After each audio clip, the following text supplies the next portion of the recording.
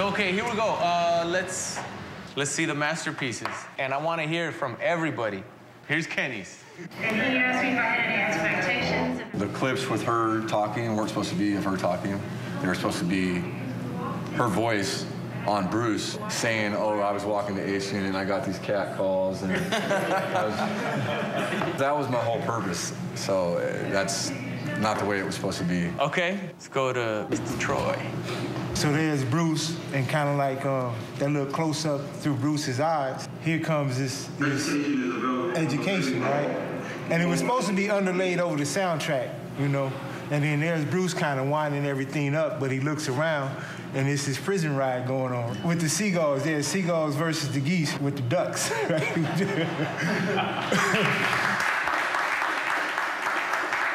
So this is Jesse. Okay.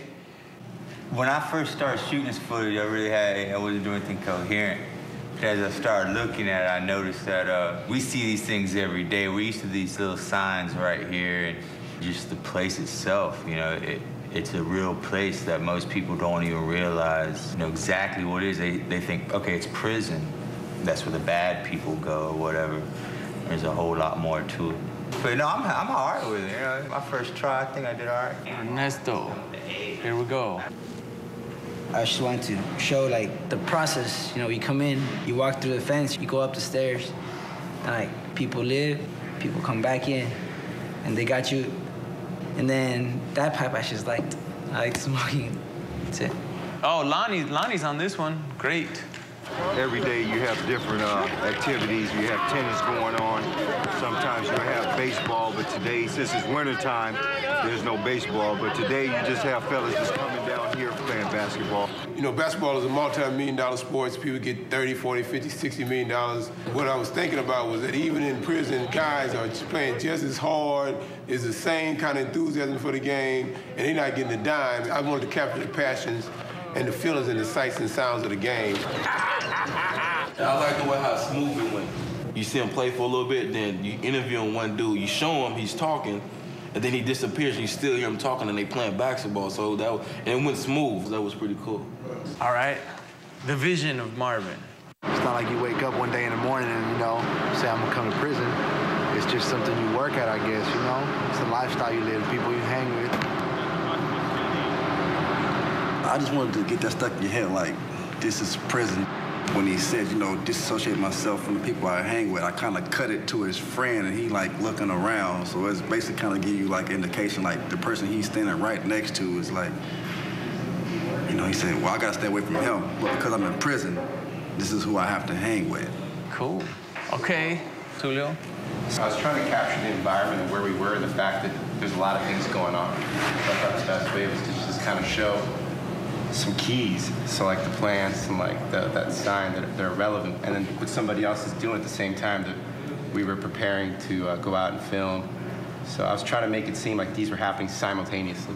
I was actually pretty pretty happy with how everything turned out. Nice. Did a good job, man. I am jealous. Good job, Tulio. Here we go. Chris's vision.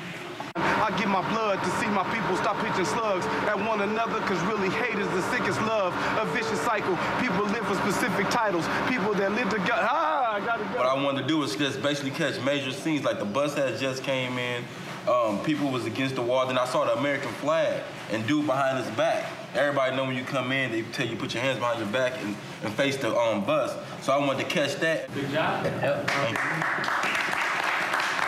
Last but not least, Sir Buckshot. I think it pretty much speaks for itself. I like the goose waddling over it and then the cemetery shot. The goose is getting fed, but you know, we're all gonna die in the end anyway.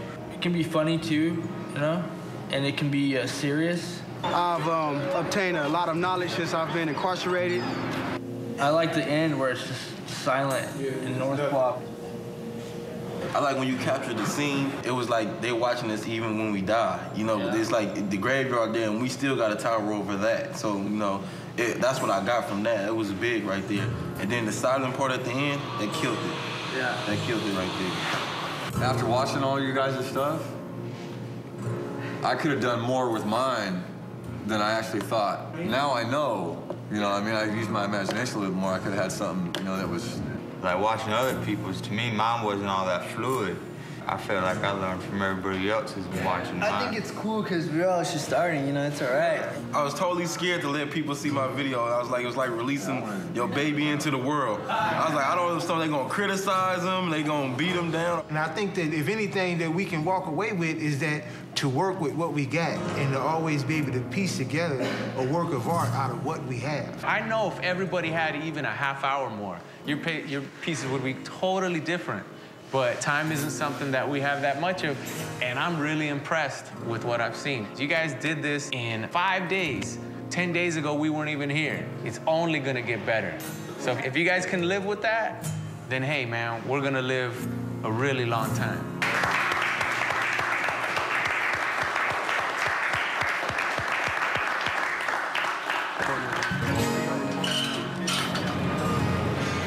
You guys are making a movie, and it's gonna be awesome.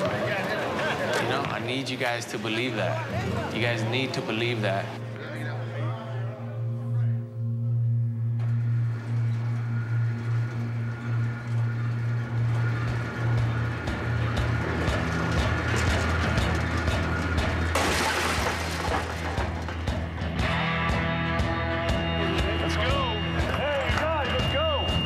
Code 2 response. We've had an incident in the gymnasium. When I get out, I'm guaranteed that I'm gonna pick up a gun, you feel me? This ain't movie land. It's like you cut and everybody's feelings go away and it's all cool. The bottom line is this is prison. You guys are making a big but you deal don't out of it, listen, and it ain't man. no you don't, man, y'all don't know what the hell y'all talking about. If anybody doing something here, man, that I believe is gonna jeopardize this program, I'm gonna say something. Period. I'm gonna say something. Something